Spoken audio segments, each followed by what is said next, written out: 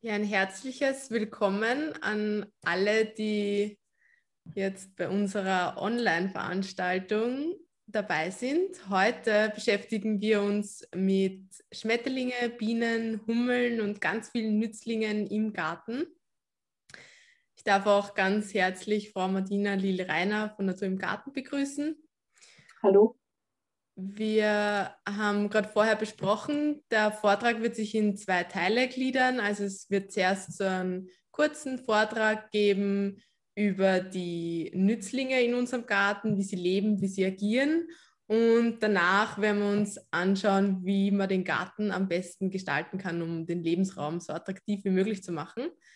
Und wir werden das wieder so handhaben, dass Sie die Fragen während dem Vortrag einfach ganz, ganz ähm, einfach in den Chat hineinschreiben können. Den Chat finden Sie unten in der Leiste, können Sie draufklicken und können Sie einfach Ihre Frage eintippen.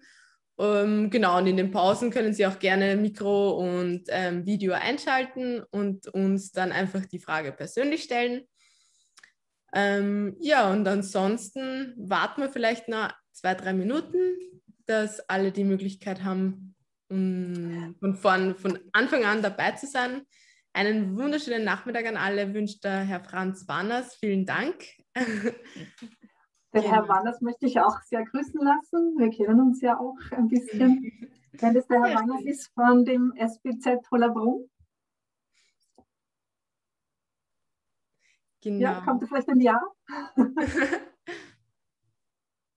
ja, ja, im Chat kommt ein Ja. ja. Sehr schön. Freut mich sehr. Genau. Mhm. Ja, wir haben gerade vorher geplaudert. Das ist wahrscheinlich eher einer der letzten Online-Vorträge, nehme ich mir an, weil jetzt geht es dann bald wieder mit den Präsenzvorträgen los. Und dann ja. kann man es ja wieder sehen. So, ist auch ganz schön. Aber natürlich ist es auch praktisch, wenn man einfach vom Computer aus einsteigen kann. Genau, in der Zukunft wird es wahrscheinlich äh, einfach beides geben. Ja. Wir werden zum genau. Beispiel unsere Webinare für Gemeinden beibehalten. Und so ganz genau wissen wir es ja auch noch nicht, was jetzt noch im Herbst und nächsten Winter auf uns zukommen wird. Das ist absolut richtig, ja. Ja. ja. Aber jetzt kann man dann einmal das schöne Wetter ausnutzen. Flexibel, ja. Wobei in so einem Veranstaltungsraum drinnen ist jetzt das Wetter auch nicht so. Da muss man Outdoor-Veranstaltungen machen. Na, das geht immer schlecht mit Beamer und Leinwand. Das stimmt. Na gut, ähm, nachdem wir jetzt schon viele Teilnehmer da bei uns in der Runde haben, würde ich sagen, ähm, ich übergebe das Wort jetzt einfach an Sie, Frau Lilreiner, und Sie dürfen mhm. Ihren Vortrag losstarten. Und wenn Fragen kommen, dann würde ich die einfach dazwischen einwerfen oder dann in der Pause stellen. Mhm. Super. Ja, danke. Äh, herzlich willkommen zum heutigen Vortrag. Ähm, ich bin die Regionalberaterin für Weinviertel, Martina Lilreiner, und heiße herzlich willkommen. Und ich danke erstes Mal der Klarregion für die Einladung zu dem Vortrag und Ihnen, das ist trotz der Hitze, trotz dem schönen Wetter, dass Sie sich vor dem Computer einfinden. Und ich hoffe, ich kann Ihnen in der nächsten Stunde äh, sehr viel Interessantes weitererzählen. Und äh, der erste Abschnitt, wie gesagt, da möchte ich Ihnen ein bisschen was über die Lebensweise der Insekten erzählen, weil damit man die gut im eigenen Garten äh, auch äh, schützen kann oder Lebensräume schaffen kann, muss man doch ein bisschen wissen, äh, wie die eigentlich ticken.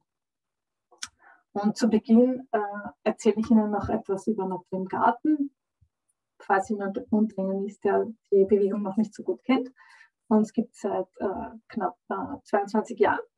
Und die Intention von Natur im Garten ist, Grünräume, äh, egal ob das jetzt öffentliche sind oder private, dass die ökologisch gestaltet und gepflegt werden. Genau, und dazu gibt es drei Kernkriterien von Natur im Garten, mit der wir sagen, äh, so sollte ein Garten gepflegt werden, damit er naturnah ist.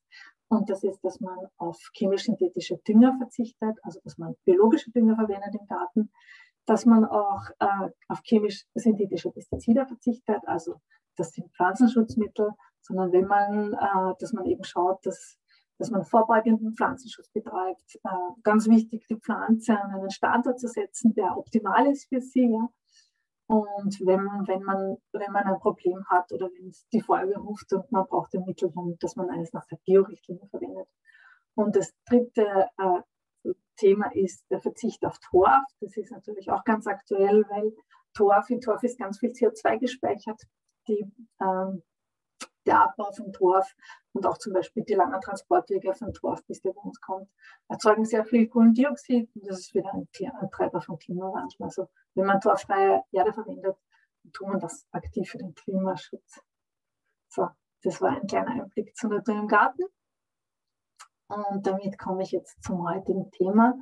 Und das sind äh, Blüten und ihre Bestäuber oder die Insekten im Garten, die wir äh, fördern wollen. Und äh, zum Beginn äh, einmal so ein kleiner Einblick, ähm, was, was da quasi die Futterpflanzen sind von Insekten. Ähm, da sehen wir zum Beispiel einen Schmetterling.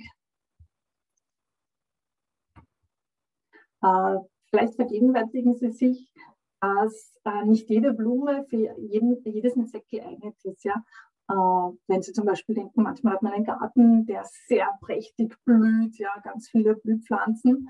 Und trotzdem kann es sein, dass dort die Insekten wirklich glücklich sind, weil das Blumen sind, äh, die sie nicht nutzen können. Ja? Wenn das zum Beispiel gefüllte Blüten sind oder wenn das exotische Blumen sind, die zum Beispiel darauf ausgerichtet sind, von Kolibris bestäubt zu werden, ja, dann haben unsere Insekten eigentlich keine Chance, das zu nutzen. Dann kommen sie nicht an den Nektar und den Pollen. Und äh, wie sollen jetzt Blüten ausschauen? Blumen, die von Insekten nutzbar sind, also das ist zum Beispiel der Typ der Bienenblume. Ja?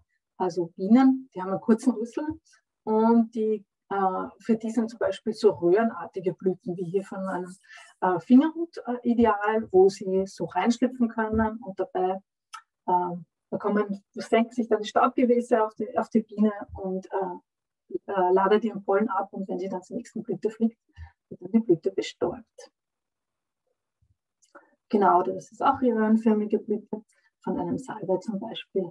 Ist auch äh, speziell quasi, kann man sagen, für, für Bienen konstruiert, damit die, die bestäuben. Eine weitere Gruppe, mit der wir uns heute beschäftigen, sind Schmetterlinge. Äh, das ist auf den ersten Blick vielleicht nicht gleich ein Schmetterling äh, zu erkennen, das Taubenschwänzchen. Und da sieht man aber sehr gut, Schmetterlinge haben, also Bienen haben einen kurzen Rüssel, Schmetterlinge haben einen langen Rüssel. Ja. Und die können zum Beispiel dann diese Blüten bestäuben, wie hier, die so eine lange Röhre haben. Ja. Manche Blüten sind einfach darauf ausgebildet, von Schmetterlingen bestäubt zu werden. Und das sind äh, eben zum Beispiel solche mit so längeren Röhren. Oder hier, das ist auch ein Schmetterling, Schmetterling ein sogenanntes Widerchen, das eben auch auf einer Blüte sitzt, wo der Nektar unten ist und äh, den eben mit ihrem Rüssel herausholen kann. Äh, auch als äh, Bestäuber in unserem Garten sind Käfer, ja, die werden eigentlich, nimmt man nicht so wahr, aber die können auch Nützlinge sein. Und äh, Blüten, die für Käfer geeignet sind, das sind eher flache, scheibenartige Blüten. Ja. Also äh, Käfer kriechen eher nicht in Röhren und, und, bei so langen Röhren haben sie überhaupt keine Chance. Also das sind so ganz flache Blüten. Oder wie hier sind Blüten, die typischerweise für Käfer genutzt werden aber die können trotzdem auch von anderen Insekten bestäubt werden, wie zum Beispiel von Bienen. Ja, warum brauchen wir eigentlich Bestäuber in unserem Garten? Äh, ganz klar, so wie hier, eine Biene, die sich gerade da an einer, mit einer Apfelblüte äh, bestäubt und das führt dann dazu, dass wir im, im Herbst dann äh, eine prächtige Ernte haben. Ja. Und man sagt ja, Bienen sind eigentlich, also die Honigbienen ist eigentlich eines der wichtigsten Nutztiere, die wir haben, ähm, weil äh, durch die Bestäubung von Bienen äh, wird äh, der Ertrag in vielen Kulturen gesteigert. Also wir haben viel höhere Erträge, wenn es Bienen gibt, die zum Beispiel Erdbeeren oder Äpfel bestäuben können. Also ein ganz, ein ganz wichtiges, wichtiger Begleiter in unserem Garten. Und was hier jetzt in diesem Vortrag auch ist, der ist von meinem Kollegen gestaltet und der hat ein paar Fragen eingebaut. Ja.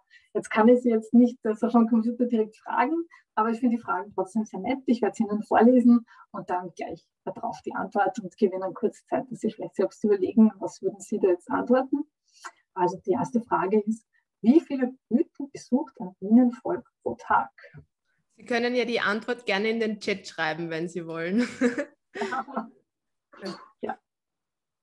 Ähm, drei Millionen, ja. Also ein Bienenvolk besteht aus ca. 10.000 bis 20.000 Bienen und die können bis zu drei Millionen Blüten am Tag besuchen und bestäuben. Eine ganze Menge. Was ist jetzt der Vorteil der Honigbienen als Bestäuber? Äh, es gibt ja auch die Wildbienen. Äh, und der Unterschied ist zum Beispiel, dass ähm, Honigbienen, da hat man ein Volk, das im Winter überwintert ein ganzes. Und sobald im Frühling die Saison wieder losgeht, hat man quasi das ganze Volk, das gleich zur Verfügung steht. Das ist bei Wildbienen meistens nicht so. Zum Beispiel Hummeln, die müssen erst wieder ein Volk aufbauen. Die sind nicht gleich in so großer Zahl im Frühling wieder da. Außerdem können Wildbienen äh, länger, äh, längere Strecken fliegen als äh, äh, Honigbienen, können längere Strecken fliegen als Wildbienen. Äh, die können bis zu fünf Kilometer in eine, eine Strecke fliegen. Genau, außerdem haben wir den netten Nebeneffekt, dass wir Honig bekommen durch die Honigbienen. Hier hat mein Kollege auch gleich wieder ein paar Fragen eingebaut. Zum Beispiel, wie viel Kilo Honig kann ein Bienenvolk pro Jahr produzieren? Es sind 50 bis 60 Kilo. Eine ganz schöne Menge für so kleine Tiere. Und wie viele Blüten muss eine Biene besuchen oder müssen besucht werden, damit ein Kilo Honig entstehen kann? Also zum Beispiel bei Klee, wenn man Fruchttier denkt, müssten das 10, 20 Millionen Fruchttierblüten sein.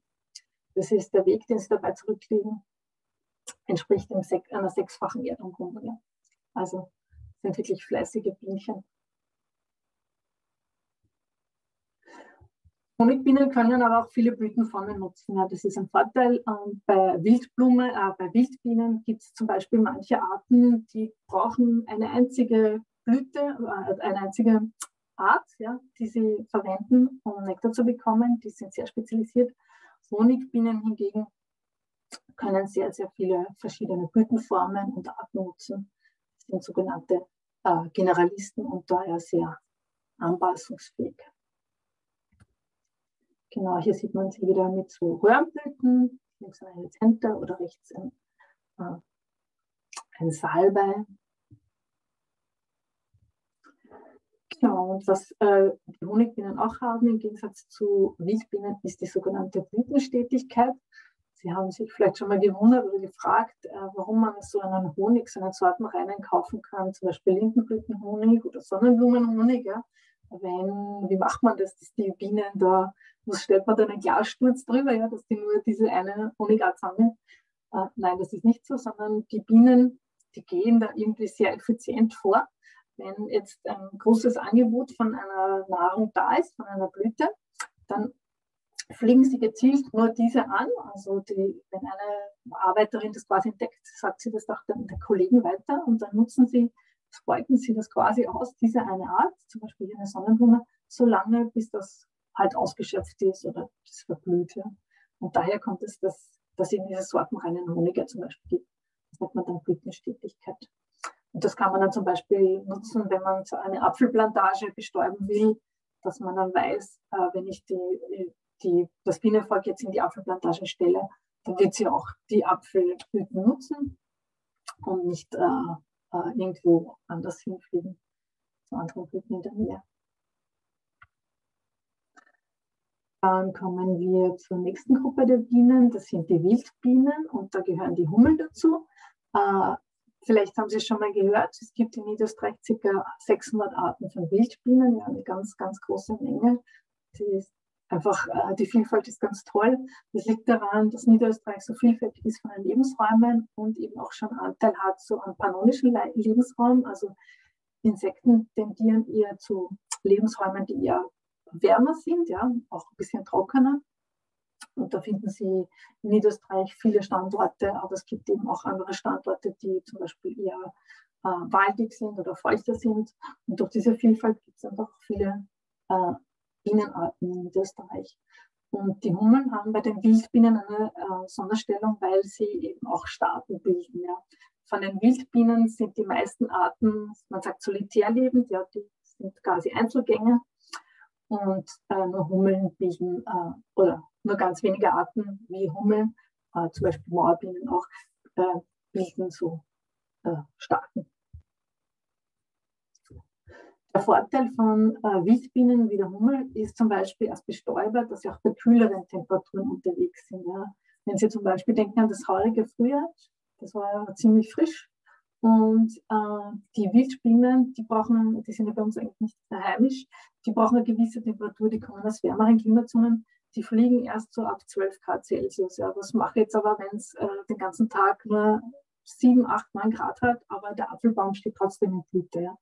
Damit äh, da nicht ein Totalausfall ist, äh, ist es wichtig, dass wir eben auch die Wildbienen haben, wie zum Beispiel die Hummeln. Da kommt wieder eine Frage, welches ist die Minimaltemperatur, bei der Hummeln fliegen können, auf der sie quasi ausfliegen, um äh, Blüten zu bestäuben. Und zwar die Königinnen äh, ab, sind schon ab 2 Grad Celsius unterwegs. Ja. Also die, die äh, lassen sich da nicht abschrecken, wenn es mal ein kalt, kälteres Frühjahr ist. Genau. Man kann sagen, unter den Bestäubern sind die Hummel auch die Jumbo-Jets, ja, mit ihrem äh, Körperbau. Und die sind auch äh, sehr, sehr leistungsfähig, die Hummel. Ja. Die können äh, wie viel Prozent ihres Körpergewichts können Hummeln äh, an Nektar transportieren. Ja? Also wirklich sehr, sehr viel, viel. Das sind nämlich 90 Prozent. Und wenn man jetzt eine Honig, wenn man jetzt äh, äh, die ja, Überlegung machen würde, wie äh, Honigbienen, wenn die genauso effizient wären wie die Hummeln, wenn die auch 90 Prozent ihres Körpergewichts tragen könnten, können sie nicht wie viel Liter Honig könnten Sie dann pro Tag herstellen? Also wenn man denkt, dass ein Volk ca. 10.000 äh, Bienen halt, das wären dann 15 Liter, würden die Bienen am Tag machen. Ja. dann hätte man sehr, sehr viel Honig. genau. Und äh, Hummeln mögen auch gern röhrenförmige Blüten, wie man hier sieht. Das sind Pflanzen, die zu der Gruppe der Schmetterlingsblüter gehören. Das sind zum Beispiel viele Kleearten oder zur Familie der Lippenblätter gehören. Da sind zum Beispiel auch viele Kräuter dabei oder die Familie der Rachenblütler. Genau, und die Hummeln gehören eben, wie gesagt, zur Gruppe der Wildbienen. Und jetzt stelle ich Ihnen noch ein bisschen was über diese solitär einzeln lebenden Wildbienen vor. Wie hier zum Beispiel, da haben wir eine sehr hübsche Vertreterin. Ähm, das sind, äh, die Wildbienen sind ja die Arten, für die wir gerne so Nützlingshotels bauen oder aufstellen. Hier ist zum Beispiel ein, aus einer Dose gebastelt mit äh, Bambus drinnen, Bambusstecken, da sieht man schon, wie die Bienen fleißig da äh, ihre Nester drinnen anlegen. Und zwar schaut es innen so aus in so einem Nest. Äh, da sieht man schon die Larven und da wird immer in eine Röhre kommen mehrere Eier rein. Ja? Also die Biene legt ein Ei rein, dann gibt sie Futter dazu, dann verschließt die Kammer und dann kommt das nächste Ei mit Futter und mit der Kammer. Ja. So sind äh, mehrere drinnen und je nach Art äh, brauchen sie dann bis zu einem Jahr diese Larven, bis sie sich entwickeln und dann wieder ausfliegen. Aber diese Bienen, Wildbienenarten, die so mehr äh, die eben diese Röhren nutzen zum Nisten, für die wir die Wildbienenhotels bauen. Das sind in der Gruppe der Wildbienen, sagen wir, circa ein Viertel von allen Wildbienenarten nutzt das oder kann das nutzen potenziell. Äh, viel mehr Wildbienenarten, und zwar das ist äh, circa die Hälfte der Arten, die es bei uns gibt, die äh, verwenden die Nisten im Röhren im Boden. Ja. Das ist etwas, was man oft übersieht. Äh, und da haben wir dann ein paar schöne Beispiele, wie man das im Garten auch fördern kann, weil die brauchen natürlich dann einen offenen, lockeren Boden, äh, in dem sie graben können. Ja, wenn das jetzt äh, der ganze Garten mit Rasen bedeckt ist, dann finden die zum Beispiel keine Nistmöglichkeiten. So. Und wenn Sie jetzt fragen, was, wie macht es der Rest der Wildbienen, also ein Viertel circa, man nistet in so Röhren, ein Viertel, äh, die Hälfte circa so Bodenstrukturen und ein weiteres Viertel sind sogenannte Kuckucksbienen, das sind welche, die andere parasitieren. So, wie soll jetzt ein Nutzungshotel ausschauen? Man sieht ja ganz, ganz viele Nutzungshotels, die selbst gebastelt werden, die man im Handel äh, kaufen kann. Aber leider sind da auch viele äh, nicht optimal gebaut oder falsch gebaut. Und da möchte ich Ihnen gerne empfehlen, wir haben auf unserer Webseite, gibt es den Bereich Downloads. Und da gibt es zum Beispiel eine Bauanleitung, wo sich meine Kolleginnen wirklich sehr intensiv damit beschäftigt haben, wie ein ideales Nutzungshotel ausschauen soll. Weil natürlich gibt es da ja auch verschiedene Meinungen und unterschiedliche Ansichten. Aber ich glaube, unsere Anleitung ist äh, eine sehr gute. Und wenn Sie es lieber in gedruckter Form haben möchten, können Sie es auch äh, zuschicken lassen. So, äh, ganz wichtig ist jetzt einmal, wenn man zum Beispiel das Nutzungshotel aus Holz baut, dass das ein Holz ist, das möglichst keine Risse hat. Ja. Also meistens dort, wo Risse sind, äh, wird dann nicht mehr gelistet. Die werden dann eher ausgelassen von den Wildspinnen. Äh, und wenn man zum Beispiel Bambus hat, dann soll der, der Schnitt ganz sauber sein von der Röhre und das nicht fasern. Das ist das der häufigste Fehler, was man sieht, wenn man zum Beispiel welche kauft, äh, Nutzungshotels, dass die nicht sehr glatt geschnitten sind und sehr faserig. Und eine Wildbiene die will sich natürlich nicht verletzen, wenn sie ein Nest baut und die fliegt halt oft äh, hin und her, rein und raus. Und äh, wenn es dann so also faserig ist, äh, dann meidet sie das auch, wenn sie sich verletzen könnte. Äh, ansonsten werden solche zur Verfügung, Verfügung gestellten äh, Röhren, egal ob es jetzt Bambus oder Holz oder was Tonmodelliert ist, sehr gern genutzt. Und idealerweise werden die dann auch ähm, sind die ein bisschen geschützt mit einem kleinen Vordach und äh, äh, eher nach Süden ausgerichtet.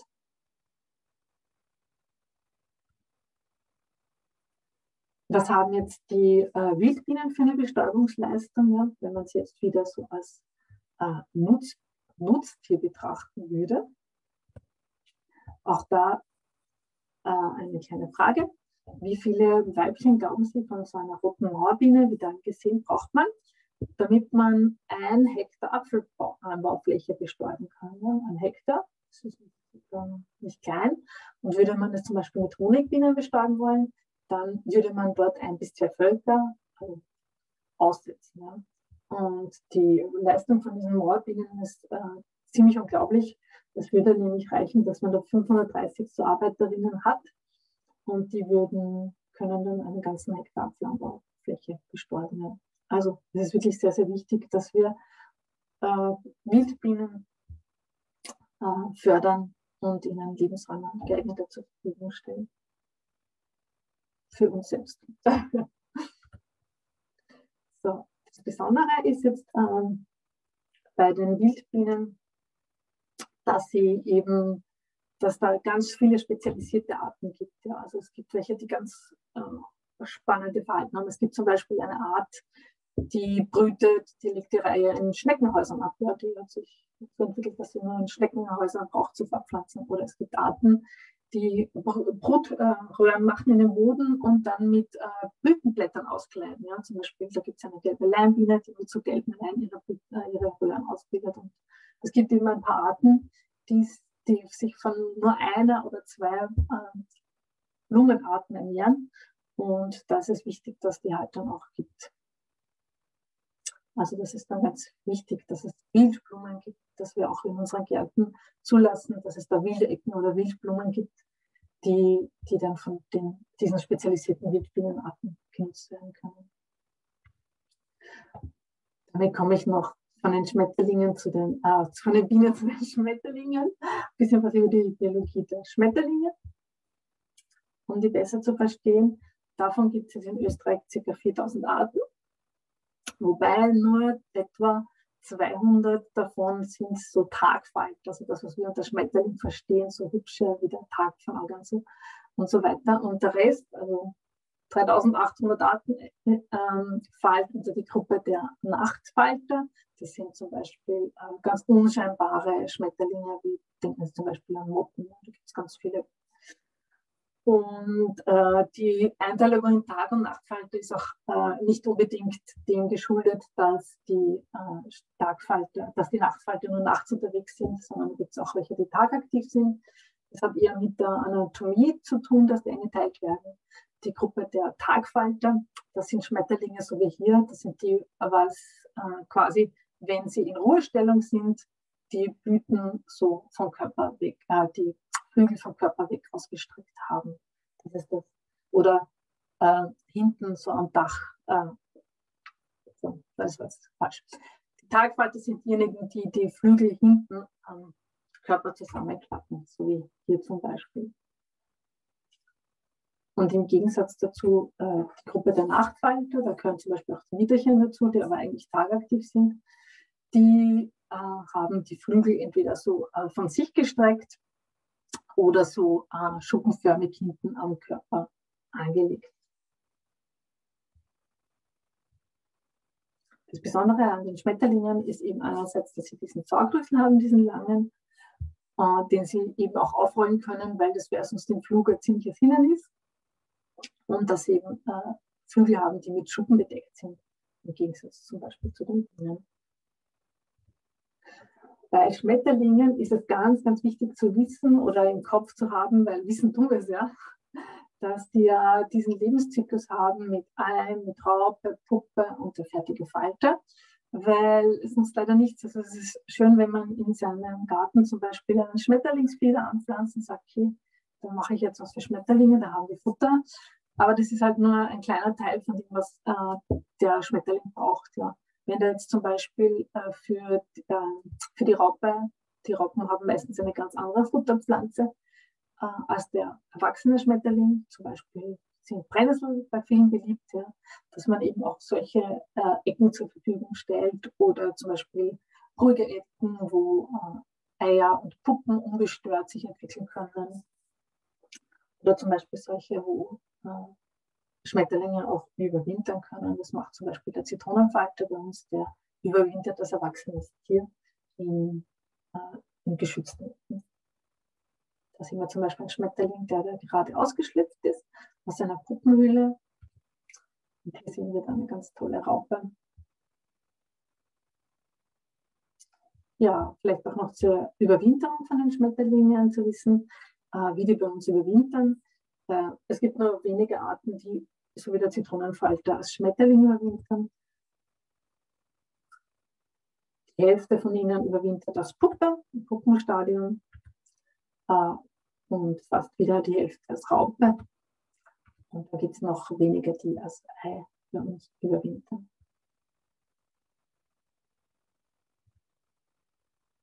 Ja, da haben Sie wieder ein paar hübsche Fotos gehabt von Schmetterlingen.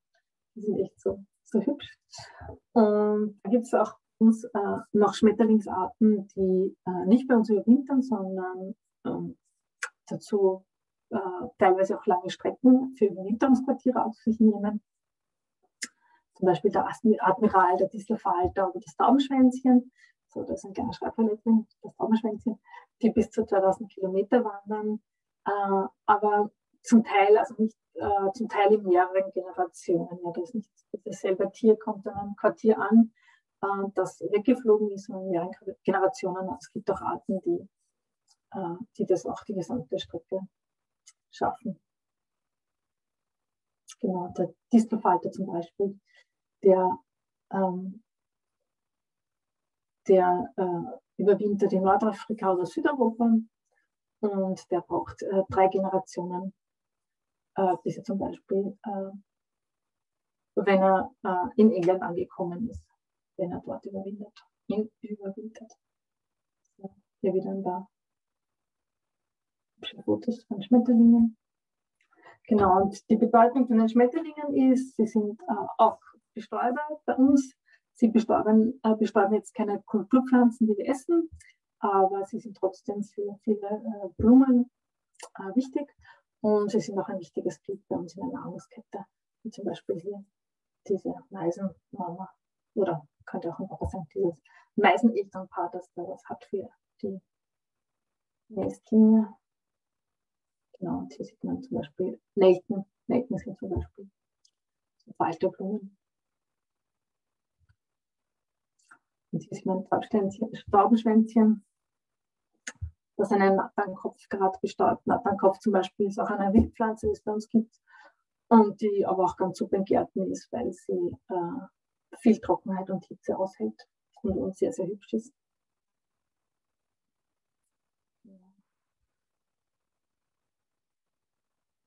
So, damit bin ich mal am Ende vom ersten Teil, so ein bisschen die Biologie von den Schmetterlingen und Bienen kennenzulernen, um sie besser zu verstehen.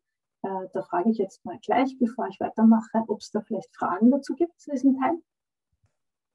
Ja, vielen Dank. Also im Chat haben wir noch keine Fragen. Ähm, mhm. Ich habe aber in den Chat dies, diese Broschüre reingepostet für das Wildbienenhotel, oh, falls jemand okay. sich das anschauen will. Das befindet sich jetzt im Chat. Ja, und ähm, falls jemand eine Frage stellen will, dann auch gerne Mikro und äh, Video einschalten und einfach selber stellen. Ansonsten würde ich sagen, setzen wir einfach mit dem Vortrag fort und wir haben ja dann am, im Anschluss auch nochmal die Möglichkeit zu fragen. Super.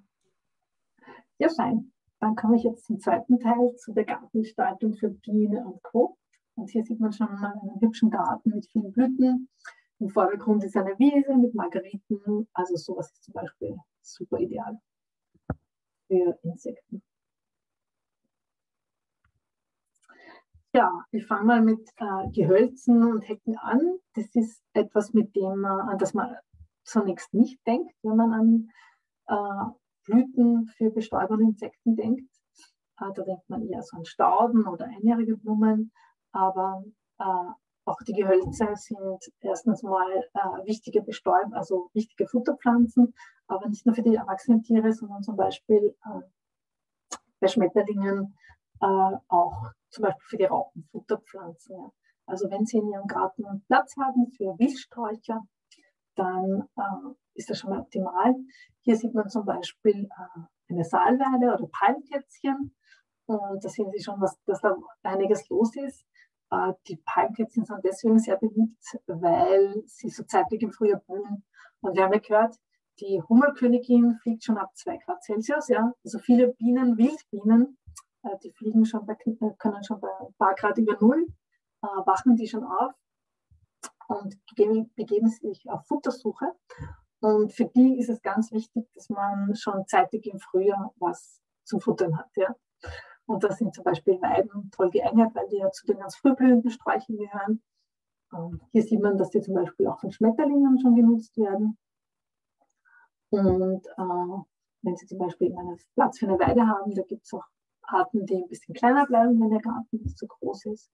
Äh, das ist schon mal toll. Ja, eine weitere Strauchart, äh, die schon sehr zeitig im Frühling blüht und deswegen auch äh, toll ist als Futterpflanze, ist die Kornellkirsche oder Dirndl. Sie ist auch als Strauch sehr hübsch. Ja. Sie macht einen kompakten Strauch.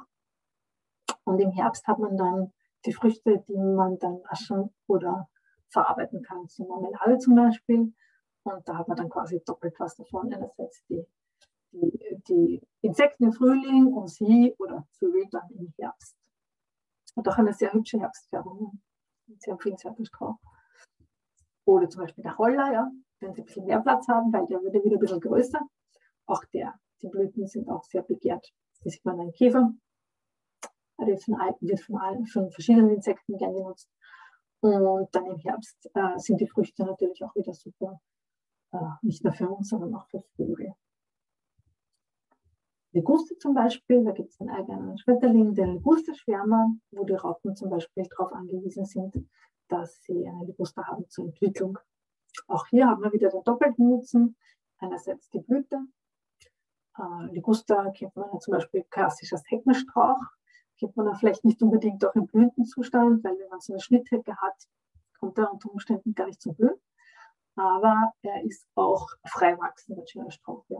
Äh, und ist natürlich eine schöne Alternative zu Thujanhecken, äh, wenn man zum Beispiel eben eine, eine, eine Abgrenzung möchte, weil äh, der sich sehr gut schneiden lässt, der Liguster. Dem kann man tolle Schnittdecken machen. Und auch wenn dann vielleicht die Blüte wegfällt, hat man zumindest eben das Raupenfutter Und äh, wenn die Blüten draufbleiben, hat man im Herbst dann wieder Früchte, die von den Vögeln gefressen werden. Genau.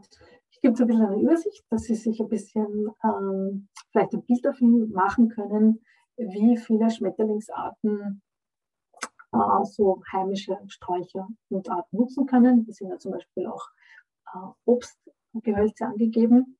Nehmen wir da zum Beispiel als viertes die Saalweide, von der wir gesprochen haben. Also 100 Schmetterlingsarten äh, nutzen die zum Beispiel.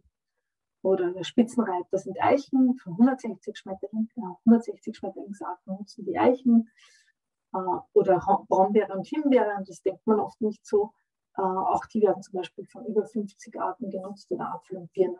Also Obstgehölze sind auch ganz, ganz tolle Futterpflanzen für Schmetterlinge oder auch äh, Bienenarten. Hier ist zum Beispiel äh, äh ein, ein Beispiel, wie zum Beispiel so ein Saum ausschauen kann aus, aus, aus Wildsträuchern. Ja. Also äh, Sie müssen nicht nur Wildsträucher in Ihrem Garten pflanzen, ja. es gibt auch äh, bei uns nicht heimische Sträucher, die sehr gut äh, als Bestäuber oder als Futterpflanze geeignet sind. Äh, aber wenn Sie Platz schaffen, dass zumindest ein paar Arten dabei sind, dann tun Sie da schon mal was Gutes. Jetzt sieht man zum Beispiel eine Wildrose, ein Holler, ja, weitere schöne Arten. Und eine Art, die zum Beispiel bei uns eigentlich nicht heimisch ist, aber trotzdem eine super äh, Futterpflanze ist, ist der Mönchpfeffer. Das ist ein Strauch, der bei uns noch nicht so bekannt ist. Ich sage noch nicht, weil der auch eher warme und trockene Bedingungen braucht. Und ich glaube, dass es ein Strauch ist, der dann in Zukunft viel gepflanzt werden wird. Der blüht äh, wunderschön blau im, im, Sommer, im Hochsommer. Und das ist auch eine Zeit, wo normalerweise nicht so viele Futterpflanzen äh, mehr blühen. Ja? Also äh, in unserem Garten ist meistens so ein Hoch, so im Mai, im Juni, da blüht ganz, ganz viel, da blühen ganz viele Stauden und Sträucher. Und so die Zeit davor, also der zeitige, der zeitige Frühling und der Sommer und auch der Herbst, das sind die Jahreszeiten, wo da meistens nicht so viel blüht. Und die Bienen können aber nicht ausweichen. Ja? Also die können nicht sagen, ja, puh, äh, ich halte jetzt einfach einen Winterschlaf, bis wieder was blüht. Ja? Es muss wichtig ist, wenn Sie etwas Gutes tun wollen für die Insekten, dass Sie schauen, dass in Ihrem Garten möglichst lange was blüht, ja, vom ganz zeitigen Frühling bis zum äh, späten Herbst, wo es dann zum Beispiel Astern oder so gibt, die dann noch spät blühen. Ja. Das wäre ideal. Und für diese Lücke im Sommer gibt es eben zum Beispiel diesen hübschen Strauch, den Mützpfeffer. Oder den heute schon angesprochenen Schmetterlingsflieder, der immer eine Futterpflanze ist für die erwachsenen Tiere. Und äh, hier ist aber äh, vielleicht zu sagen, äh, der Schmetterlingsflieder, wenn Sie da Sorten kaufen, dann achten Sie vielleicht bitte auf Sorten, die nicht invasiv sind. Was heißt das? Der Schmetterlingsflieder gehört zu den Pflanzen, die sich bei uns äh, ausbreiten. Das ist eigentlich heimisch und äh, hat aber die Fähigkeit, quasi sich durch Samen zu vermehren, zu verbreiten und taucht dann auf Böschungen und so weiter auf. Und es gibt aber auch Sorten, äh, die sich nicht selbst weiter vermehren können und die wären eigentlich für den Garten, also eigentlich für die, für die Natur besser, damit sich der Schmetterlingsflieder nicht so unkontrolliert außerhalb der Gärten weiter vermehrt. Wenn sich das interessiert, dann fragen Sie beim Natur- und Gartentelefon nach. Das kann Ihnen dann Informationen schicken, welche Sorten das sind, die nicht invasiv sind. Auch eine tolle Futterpflanze ist äh, das je länger, je lieber. Das gehört zu den Pflanzen, die zum Beispiel Na äh, Nachtfalter gerne mögen. Es gibt etliche äh, äh, Nachtfalter, die mögen Pflanzen, die eher gerne am Abend duften. Und da gehört das je länger, je lieber dazu. Eine hübsche Kletterpflanze. Genau, und eine Pflanze, die auch ganz, ganz toll ist, kann ich nur empfehlen, ist der Eva. Den Efeu kennt man äh, normalerweise eher als Kletterpflanze, äh, was nicht so bekannt ist, ist, dass der Eva, der hat zwei Lebensphasen quasi. Wenn er jung ist, dann, dann klettert er, ja. Und äh, wenn er sich mal etabliert hat, wenn er älter ist, dann fängt er an, sich in einen Strauch umzuwandeln. Ja. Sie kennen es vielleicht zum Beispiel von alten Friedhofsmauern. Äh, dort ist oft der Efeu äh, äh, eben in dieser älteren Altersform. Und der unterscheidet sich dann von der Jungform, weil die Blätter ein bisschen anders ausschauen und weil er dann eben blüht. Hier sieht man die Blüte. Und äh, diese Blüte ist dann zum Beispiel auch noch im Spätsommer oder Herbst. Das ist dann ein tolles Futter. Und man kann das in Baumschulen schon so kaufen. Ja, da gibt es diesen Efeu als äh, Altersform. Und das ist zum Beispiel ein sehr, sehr hübscher immergrüner Strauch für den Garten. Genau, oder die, die, die äh, Heide, äh, Erika, das ist auch ein Strauch, der, der äh, spät im Herbst bzw. zeitig im Frühling blüht und damit auch wieder so eine Lücke schließt. Jetzt war ich bei den Sträuchern, äh, jetzt komme ich mehr zu den krautigen Pflanzen äh, und zwar zuerst mal zum Blumenrasen. Was meinen wir damit? Blumenrasen mit meinen wir so kurz geschnittene Rasenflächen, die trotzdem aber nicht nur aus Gras bestehen, sondern eben auch mit vielen Blumen durchsetzt sind. Moment, jetzt muss ich mal kurz trinken. Hier sieht man zum Beispiel Kleearten. Und das ist ein großes Plädoyer von, von uns, dass sie in ihrem Garten oder im Rasen auch Blumen zu lassen. Ja? Also ich persönlich kann es überhaupt nicht verstehen, warum man zum Beispiel gegen Gänseblümchen oder Gundelräder und so weiter ankämpft. Ich finde den Rasen viel schöner, wenn sowas drinnen ist. Und das ist natürlich auch für die Insekten toll, weil das ja auch wieder Futterpflanzen sind.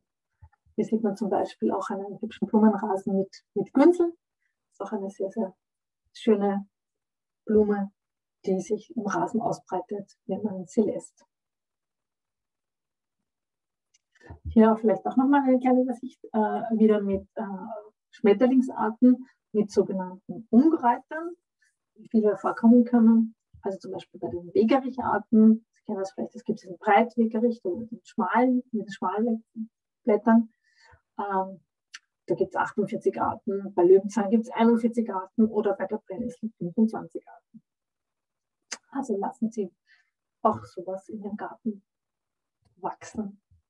Ja, und ganz, ganz toll für Insekten sind Blumenwiesen, also dort, wo die Blumen dann, die Wildblumen eben auch höher wachsen können, weil das natürlich äh, ein sehr blütenreicher Lebensraum ist mit ganz vielen Arten, mit ganz vielen heimischen Wildpflanzen die genutzt werden können äh, von den Insekten. Und wo kann man so eine Blumenwiese im Garten anlegen? Äh, ist nicht so einfach. Äh, hier zum Beispiel, da sieht man so einen hinteren Ausgang. Da ist ein Weg in die Mitte ge gemäht worden, weil Blumenwiesen kann man nur in Flächen anlegen, die nur selten betreten werden. Also an häufig äh, betretenen Stellen geht eigentlich nur ein Blumenrasen. Äh, die Blumen würden das nicht aushalten, wenn sie häufig äh, ähm, betreten werden. Ja. Aber wenn Sie vielleicht Gartenbereiche haben, wo man nur selten hinkommt, die aber sonnig sind und wo der Boden mager ist, ja, das ist auch eine wichtige Voraussetzung für Blumenwiesen, dann können Sie dort eine Blumenwiese anlegen oder einfach vielleicht schon wachsen lassen. Oft äh, sind die Kräuter ja schon in, im Boden, die Samen vorhanden und man muss sie wachsen lassen. Und so eine Blumenwiese wird dann circa zweimal im Jahr gemäht und das Mähgut entfernt und viel mehr Pflege braucht sie nicht. Also das ist eigentlich ein sehr pflegeleichter, ein pflegeleichtes Gartenelement, äh, das man haben kann und das aber trotzdem eine ganz tolle äh, Wirkung hat für Insekten. Ja, wir waren ja schon bei dem äh, Thema, dass es eben aus schon zeitigen Frühjahrfutterpflanzen braucht. Und da sind zum Beispiel auch diese frühblühenden Zwiebelpflanzen wie hier zum Beispiel der Krokus, äh, auch eine äh, schöne Nahrungsquelle. Ja. Oder hier das Schneeglöckchen und hier auch wieder, äh, wenn Sie da viele auch einheimische Arten nehmen, dann tun Sie denen etwas Gutes. Sie können ja trotzdem auch äh, exotische Tulpen oder was Ihnen gefällt pflanzen. Ähm, aber eben Vorsicht, viele von den Tulpenarten oder Narzissen sind nicht äh, nutzbar für Insekten. Aber das kann ja beides im Garten miteinander existieren. Ja, und jetzt kommen wir zu dem Thema der offenen Bodenstellen. Äh, ich habe Ihnen das schon erzählt. Das ist eben für die Wildbienen, die Hälfte aller Wildbienen bei uns, die nistet eben im Boden. Und da schauen Sie sich das mal an. Äh, da sind ganz, ganz viele Niströhren drinnen. Ja, vielleicht erkennt man das gar nicht, weil es schon so selten geworden ist, sowas zu sehen. Da haben schon ganz viele Bienen eben kleine Löcher reingegraben und da entsteht eben so ein, so ein Haufen links und rechts. Also das sind keine Ameisen, das sind keine Ringwurmröhren, das sind äh, Nistplätze von Wildbienen. Ja. Und da sieht man auch schon gleich, was es dafür braucht, nämlich eben die offenen Bodenstellen. Ja. Ähm, das muss äh, am besten auch wieder ein, ein, sonniger Platz sein. Und wenn Sie vielleicht in Ihrem Garten eher ein bisschen einen sandigen Boden haben, oder Sie können auch eine Stelle mit ein bisschen so Sand aufschütten, aber bitte keinen gewaschenen Sand, also keinen Sandkistensand, äh, weil der, äh, der äh, würde nicht so stabil bleiben. Ja, der würde sofort, wenn man versucht, ein Loch zu graben, äh, wieder äh, nachlesen. Ja, es muss ein ungewaschener Sand sein, wo eben feinere und, und grobere Körnchenteile drinnen sind. Und äh, genau, dann äh, kann man eine Stelle im Garten machen, die eben für diese Wildbienen äh, Nistgelegenheit bietet. Ja. Also wenn Sie sowas im Garten haben, so offene Stellen, die müssen nicht sofort wieder mit Rasen bewachsen werden oder so, sondern da kann man eben auch durchweg auch einen, ein Wildbienenquartier quasi äh, entstehen lassen. Hier sieht man da gerade eine Biene bei der Arbeit, wie sie eben versucht, gerade eine Niströhre zu bauen. Genau. Was Bienen auch noch brauchen, ist Wasser. Äh, und sie können sie auch fördern, wenn sie im Garten noch Wasserstellen zur Verfügung stellen. Da sieht man zum Beispiel eine Biene, wie sie gerade trinkt. Das können ganz kleine Wasserstellen sein, so wie hier zum Beispiel. Das kann man halt zum Beispiel auch auf einen Balkon aufstellen. Oder die etwas größere Version, wenn der Garten äh, genug Platz hat. Ja, das ist so ein Schwimmbiotop, ist natürlich ganz, ganz toll für verschiedenste äh, Tiere und Pflanzenarten. Ja.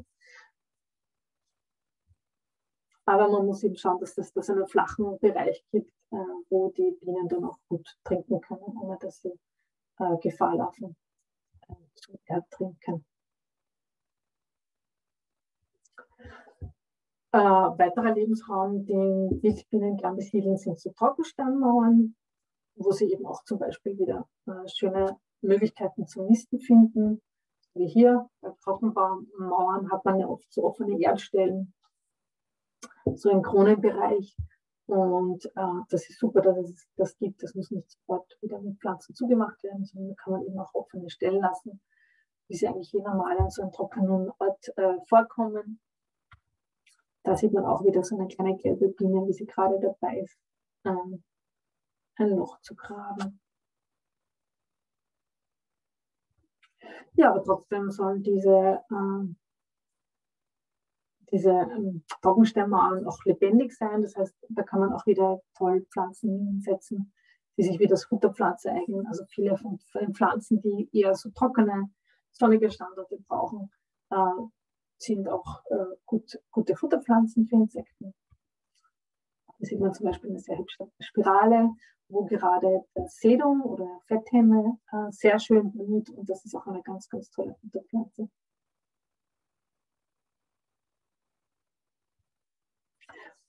Oder hier links, dass man Lücken füllt mit, äh, mit äh, so Steingartenpflanzen. Oder rechts eine Malve, die auf der Mauerkrone blüht. Auch wieder eine, eine wilde Malve, Malve, eine heimische Art. Aber Sie sehen, wie, wie viele wirklich hübsche heimische Arten es auch gibt, die man durchaus im eigenen Garten fördern kann und trotzdem einen attraktiven Garten hat.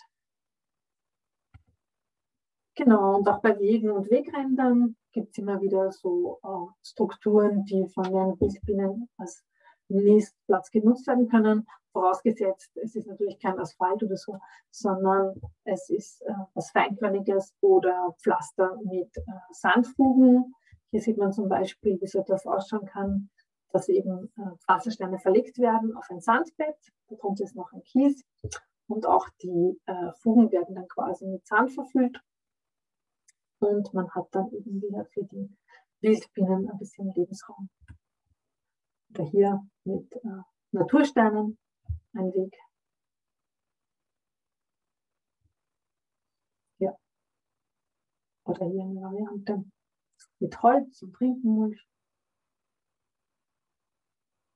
Genau, das äh, sieht man zum Beispiel, wie so eine, äh, wie so eine äh, Sandwespe ein, einen Brutplatz anlegt. Ja? Die hat so ein Loch gegraben und jetzt hat sie eine Heu Heuschrecke gefangen.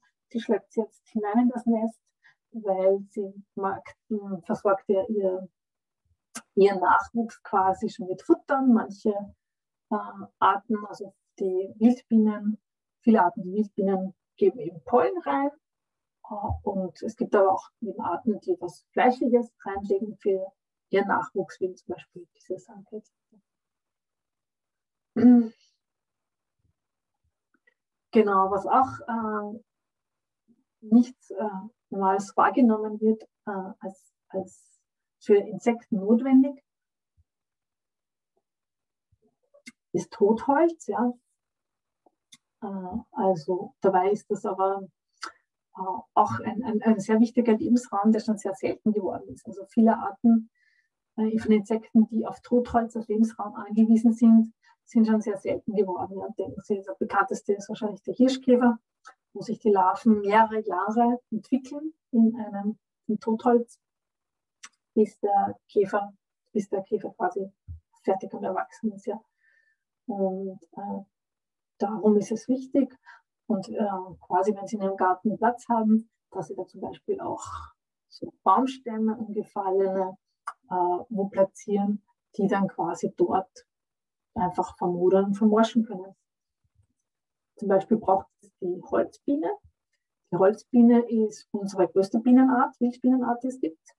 Sie kennen sie wahrscheinlich. Sie, hat, ähm, sie gehört zu den Arten, die durch den Klimawandel profitieren, äh, wo es bei uns mehr gibt, äh, weil die eben eher warme, äh, warme und trockene äh, Lebensräume braucht.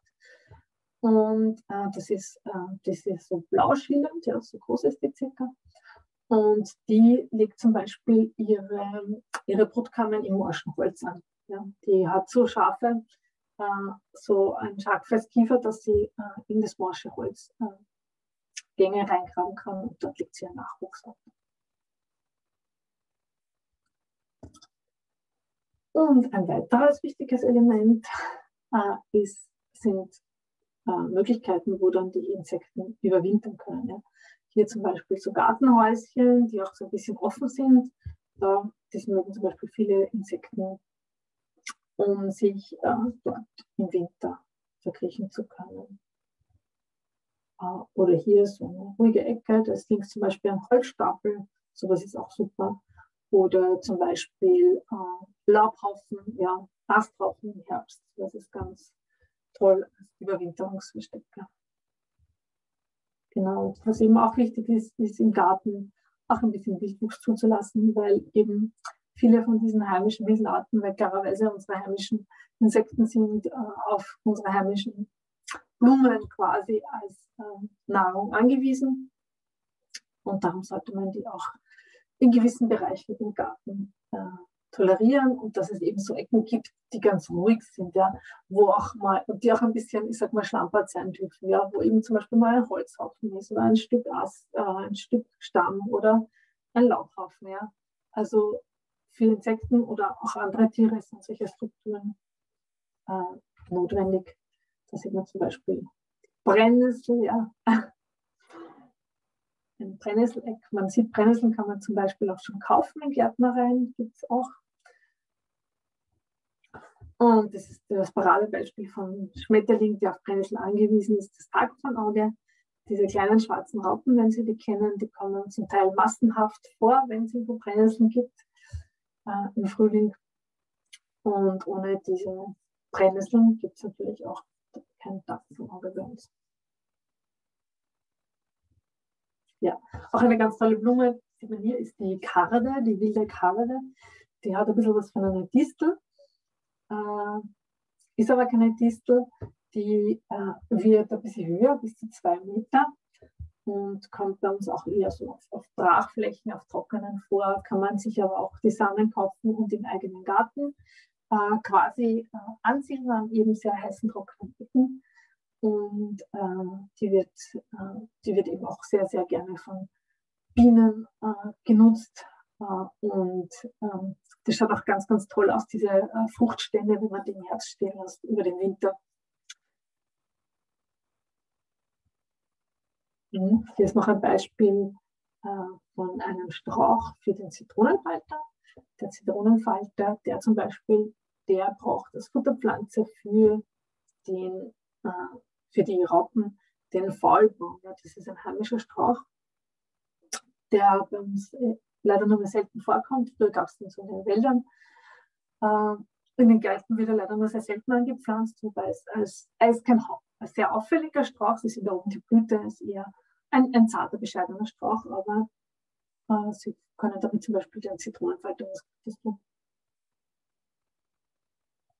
Und der Zitronenfalter braucht eben für die Überwinterung zum Beispiel Holzstapel oder, Fall, oder einen Laubhaufen oder, oder einen Schuppen oder ähnliches, wo er dann eben überwintern kann. Ähm, zu Beginn war es ja schon ein bisschen äh, auch erkennbar, äh, Obst, Obstbäume, Obststräucher sind auch ganz tolle Futterpflanzen. Ja. Nicht jeder, ich gebe es zu, hat so viel Fläche, hier so einen schönen großen Obstgarten, aber zumindest ein Obstbaum oder in kleinen Gärten oder Balkonen passen zumindest Obststräucher. Ja.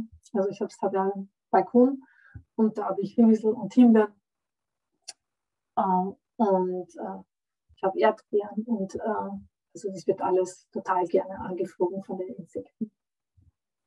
Da sieht man zum Beispiel auch wieder einen Obstbaum mit, mit Schmetterlingen drinnen. Und eben auch die Obststräucher. Ja. Links zum Beispiel die Brombeere oder rechts die Riebissel. Äh, das sind auch äh, vielleicht eher unscheinbare Blüten, aber für die Insekten sehr, sehr wichtige Futterpflanzen. Und da haben wieder sie was davon und die Insekten auch. Genau. Kräuter. Kräuter sind auch ganz tolle Futterpflanzen. Ganz viele von diesen Kräutern, die vielleicht eher so mediterran sind, zum Beispiel die Salbe oder Rosmarin, Lavendel, äh, werden gerne genutzt von Insekten. Zum Beispiel links sieht man den Borretsch oder rechts eine Muscatella-Salbe. Oder hier zum Beispiel Schmetterling aus Lavendel. Äh, weniger bekannt ist, dass zum Beispiel auch Gemüsegärten was für Insekten bieten können. Und zwar vor allem dann, wenn es vielleicht so Gemüsegärten sind, die auch äh, ein bisschen Mischkultur haben, mit, vielen Blüten drinnen. Aber zum Beispiel rechts sieht man die, äh, die Blüte von einer Zwiebel. Ja? Zwiebel oder auch Schnittlauchblüten werden auch sehr, sehr gerne besucht. Ja?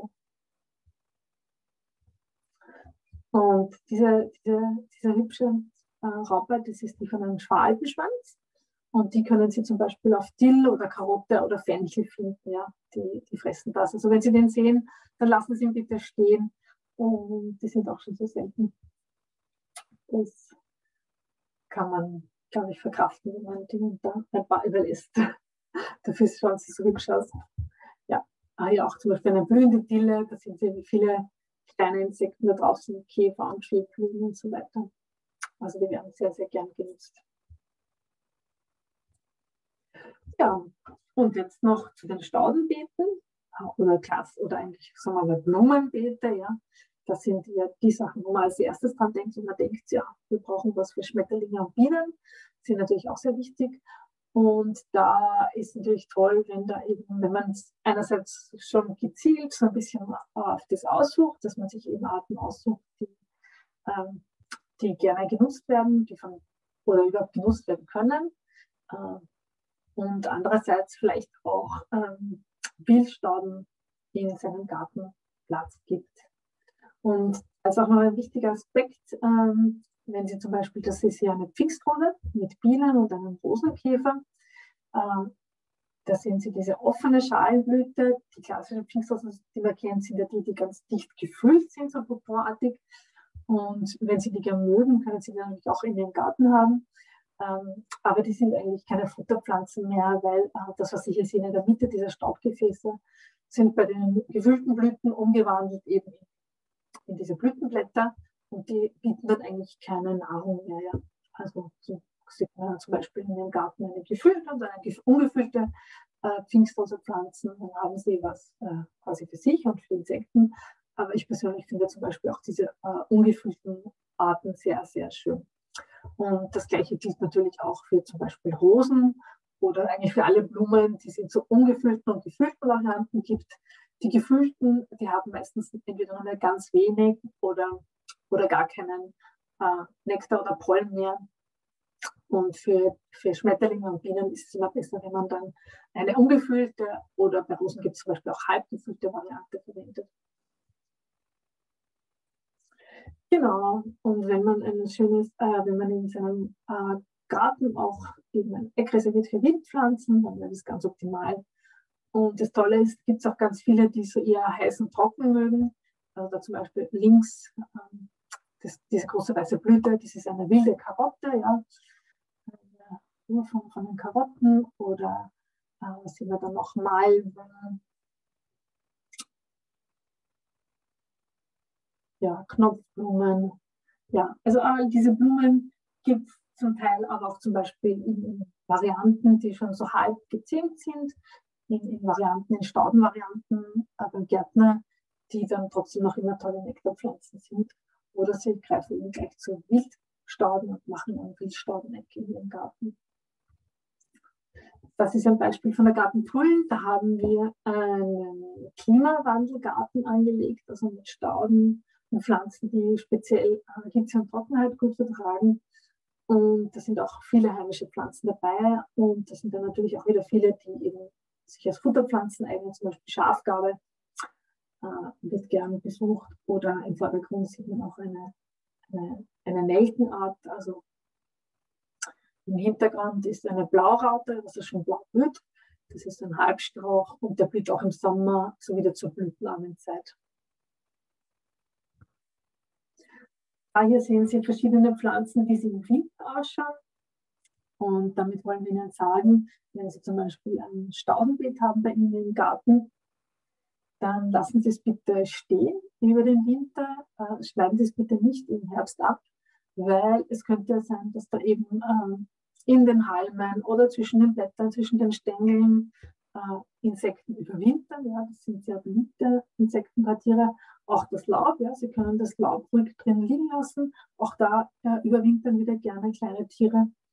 Und erst dann im zeitigen Frühling, wenn alles anfängt, es wieder auszutreiben, wenn die Insekten auch die Chance gehabt haben, quasi aus ihrer Winterstarre zu erwachen und den Nistplatz zu verlassen, erst dann bitte zurückschneiden. Und man sieht ja, dass, äh, die Pflanzen schon einfach teilweise dann im Winter oder unter Frost äh, auch so hübsch aus. Also das ist ein quasi ein weiteres schmückendes Element, wenn man die im Herbst stehen lässt. So, äh, langen Rede, kurzer Sinn. so soll es eben nicht ausschauen für Biene und Co. Also, äh, Sie brauchen ganz viel äh, Futterpflanzen in Ihrem Garten, ja, solche, die für Raupen oder für die erwachsenen Tiere nutzbar sind, mit ganz vielen Blüten das ganze Jahr über. Äh, wenn möglich auch viele einheimische Arten dabei und äh, ja, keine, keine toten Steinbüsten quasi. Und so wie in dem Garten, das ist äh, quasi perfekt, wo es einfach viele Pflanzen gibt, die auch in die Höhe wachsen. Das ist auch für den Gärtner gut, weil, er, weil es dann viel Schatten gibt und weil Blätter die Luft kühlen. Ja. Äh, Sie müssen jetzt nicht unbedingt einen Gartenteich haben, aber vielleicht irgendwo eine Wasserstelle. Und auf jeden Fall viele, viele Blüten.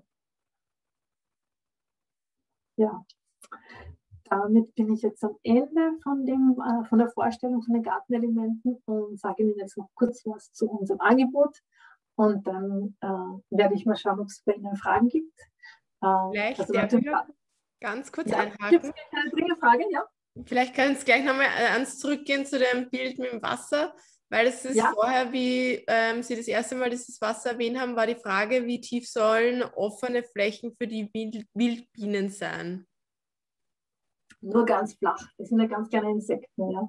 Also äh, wenn Sie tiefere Bereiche haben, dann legen Sie da zum Beispiel äh, Steine hin, ja, mhm. die eben den, denen ermöglichen, dass sie gefahrlos zum Wasser kommen.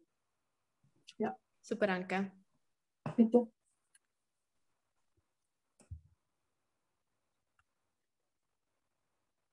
Ja, ähm, genau.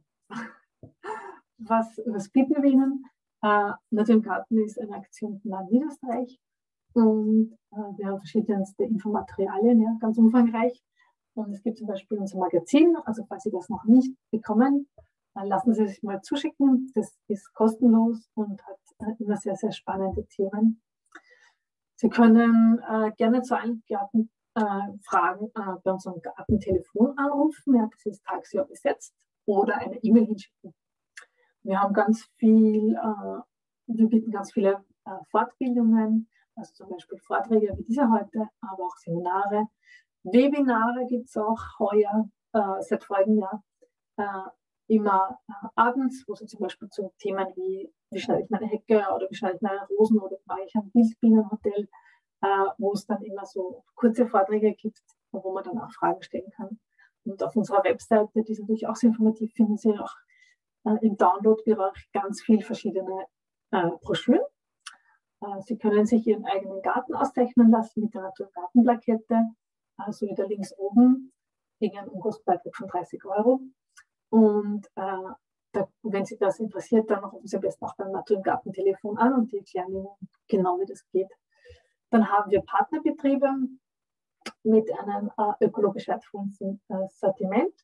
Äh, das sind zum Beispiel Produktionsbetriebe und ausführende Betriebe. Äh, die finden Sie auch auf unserer Webseite. Ja, zum Beispiel der Havanas gehört zu unseren Partnerbetrieben. Und dann gibt es noch Schaugärten, wenn Sie sagen, ja, äh, ich muss das mal sehen, damit ich mir das vorstellen kann. Gibt es ein Netz von Schaugärten, ja, ganz schönen, also bei Ihnen in der Umgebung ist zum Beispiel beim Nationalpark Hadeck gibt es eines, in Ziersdorf gibt es einen. Und auch da finden Sie Informationen auf der Webseite oder Sie lassen sich unsere Karte zuschicken. Genau, damit bin ich jetzt am Ende vom Vortrag. Ich sage herzlichen Dank fürs Zuhören und frage mal nach, ob es vielleicht noch weitere Fragen gibt. Mm, ja. Ja, der, ich hätte, Entschuldige. Hm? Ja, bitte. Die offenen Flächen meinte ich die Sandflächen zum Brüten von den Wildbienen. Wie, wie tief sollten die angelegt sein? Mhm. Das ist eine spezielle Frage, aber ähm, ich würde sagen, so circa 15 bis 20 Zentimeter. Mhm. Ja. Und mich hätte noch interessiert. Ich gehe nicht sehr tief. Ähm. Wie, wie, wie siedeln Sie denn, also man macht diese offenen Flächen und dann wartet man einfach, ob Sie Wildbienen ansiedeln. Da macht man dann sonst einfach gar nichts. Genau. Und wie wahrscheinlich ist es, wenn ich, oder wie groß ist es dann, was nicht, fünf Quadratmeter oder wie, wie, wie kann ich mir das ungefähr vorstellen? Na, die nutzen eigentlich jede Gelegenheit, die sie haben. Ja. Also Okay. Das eine, Bild, das eine Bild hat man ja gesehen, da waren ganz viele nebeneinander. Aber es gibt auch, ähm, wenn nur ein kleiner Fleck ist, dann werden nur wenige Brutröhren gemacht. Ja. Also bei uns zum Beispiel gibt es ähm, einen Acker, also einen Feldweg, und obwohl da eigentlich dauernd Leute drauf rumtrampeln, legen die trotzdem ihre Nistplätze dort an, vielleicht weil sie nichts Besseres finden. Äh, aber sie sind dann, wenn sie eine Gelegenheit haben, und vor allem die Gegend, also ich weiß nicht, ob Sie aus der, äh, aus dem, aus der Klarregion sind, aus der Retzer Gegend. Das ist eine Region, wo es eh viele Wildbienenarten auch gibt. Und ich denke, wenn man ihnen so einen geeigneten Platz zur Verfügung stellt, dann werden die das relativ schnell entdecken. Okay. Mhm. Genau, dann war noch eine Frage im Chat und zwar, zu welchen Zeitpunkten sollte man Blumenwiesen mähen? Mhm. Das kann man leider nicht pauschal sagen, weil es gibt ja ganz unterschiedliche Blumenwiesen. Ja. Es kommt darauf an, ein bisschen, ähm, was für einen Bewuchs sie darauf haben. Äh, ich sage mal, so diese klassischen Blumenwiesen, wie man sie kennt, mit Margeriten oder Glockenblumen oder Salbei, die mäht man zweimal im Jahr. Ja? Also das erste Mal zur Margeritenblüte, wenn die Margeriten anfangen zu verblühen, und das zweite Mal nochmal im Herbst. Wenn Ihre Wiese äh, andere Blumen hat, also könnten Sie jetzt entweder vielleicht sagen, welche Blumen Sie haben, oder Sie schicken mir ein Foto ans Gartentelefon äh, wo man sieht, welche Blumen da drauf wachsen, welche Pflanzen. Und dann werden Ihnen die auch nochmal eine Empfehlung geben, speziell für die Blumen. Okay, super, danke schön. Bitte. Ich hätte auch noch eine Frage. Ähm, und zwar, ja. Ähm, Sie haben da den Blumenrasen erwähnt und ich bin äh, stark auf der Suche nach einem Saatgut für so einen halbwegs niedrigen Blumenrasen. Mhm. Also ich habe jetzt bei der Blumenwiese habe ich jetzt äh, gerade 100 Quadratmeter angebaut mit so einer 40 mhm. bis 50 Zentimeter hohen Wiese, aber die mähen wir, mähen wir halt dann nur zweimal im Jahr eben. Also ist frisch ausgepflanzt, bin schon gespannt. Ähm, ja. Und für einen Rasen, also statt dem normalen Rasenersatz, also neben der Terrasse, wäre ich auf der Suche nach so einem niedrigen Ding. Und es ist mir unmöglich, etwas zu finden. Wie Na, äh, ja, wie, ich weiß, das, das gibt es noch äh, relativ selten. Was ist denn das jetzt? Na, ich habe jetzt so einen Kräuterrasen gefunden, den habe ich dann voriges Jahr angebaut, aber es, es ist eigentlich nur Grünpflanzen. Also wir haben es dann äh, am Anfang zwar einmal gemäht, weil eben nur zuerst nur Unkraut gekommen ist und jetzt mhm. hin und wieder sind ein paar Gänseblümchen da und jetzt habe ich es auch, was nicht, vor drei Wochen das erste Mal heuer dann gemäht weil, aber es ist nur grün und es blüht nichts. Also ja, irgendwie, weiß ich nicht. Und Na, es, kann, es kann sein, dass das einfach nur ein bisschen äh, braucht, weil viele Blumen brauchen ein bisschen Zeit zur Entwicklung. Ja. Das äh, kann sein, also wenn Sie, wenn Sie reinschauen in, in Ihre Fläche und Sie sehen, dass da viele Blätter drinnen sind, dann sollten schon auch Kräuter drinnen sein. Ja. Also dann, wenn viele, wenn viele Gräser sind, dann, ähm, dann kann es eben passieren äh, sein, dass die, die Blumen nicht angewachsen sind, sondern nur die Grassamen. Mhm. Ähm, Sie könnten eben auch nochmal, wenn Sie das noch haben, die Beschreibung, was da für Pflanzen drinnen sind und eben, auch ein Foto vielleicht an das Kartentelefon schicken, dass die Ihnen vielleicht auch nochmal das anschauen. Und ansonsten äh, gibt es zum Beispiel Saatgut ähm, bei, bei, bei der Karin Böhme, das Holzer Wildblumensaatgut. Da kann man zum Beispiel eines bestellen. Wie heißt die? Karin Böhme. Karin Böhme, okay. Böhme. Ja. Okay, schau ich mal rein. Also gerade eben so. Genau, aber generell bei so Blumenwiesen braucht man ein bisschen Geduld, auch bei Blumenrasen. Okay, na gut, dann lass man einfach wachsen, was da. Ja. Super. Dann, also im Chat äh, haben wir noch einen vielen Dank für den Vortrag. Ähm, natürlich auch vielen Dank von meiner Seite. War sehr informativ. War ein kleiner Ausflug wieder in den Biologieunterricht. Und ja. ähm, genau, falls es noch Fragen gibt, dann jetzt gerne einfach die Fragen stellen. Genau. Und wenn eine Frage später einfällt, dann am besten einfach beim Gartentelefon anrufen genau. oder Mail schicken. Die helfen auch gern. Vielen Dank. Ich wünsche allen noch einen wunderschönen Abend und entlasse somit alle in einen schönen Garten, in eine schöne Gartensaison. Stimmt, Danke. ja, das, dem schließe ich mich an. eine schöne Gartensaison. Danke. Genau, und ähm, vielleicht, wer es weiterempfehlen will, die ähm, Vorträge sind aufgezeichnet und können dann auf YouTube abgerufen werden, beziehungsweise auf unserer Homepage www.unserklima.at und da kann man die danach gerne noch ähm, Personen weiterempfehlen. Genau, und vielleicht gibt es ja irgendwann mal wieder die Gelegenheit, auch das genau. für einen Live-Vortrag. Richtig, vielen genau. Dank.